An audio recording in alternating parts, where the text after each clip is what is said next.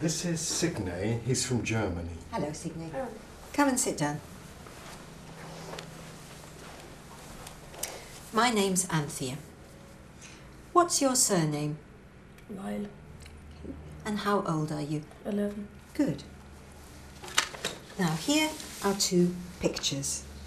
My picture is nearly the same as yours, but some things are different.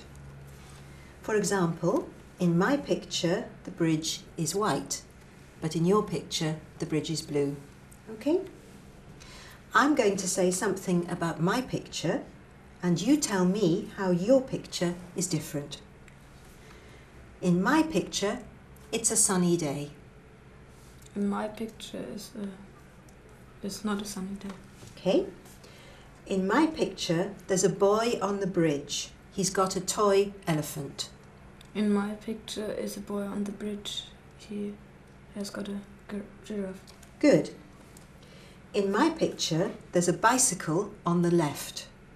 In my picture is a bicycle on the right. Good. In my picture, I can see four trees on the island. In my picture I can see three M um, trees on the island. Good. In my picture, a man's painting a picture of the lake. In my picture a man makes a, pict- a, a, a picture from A photo. a, a hmm.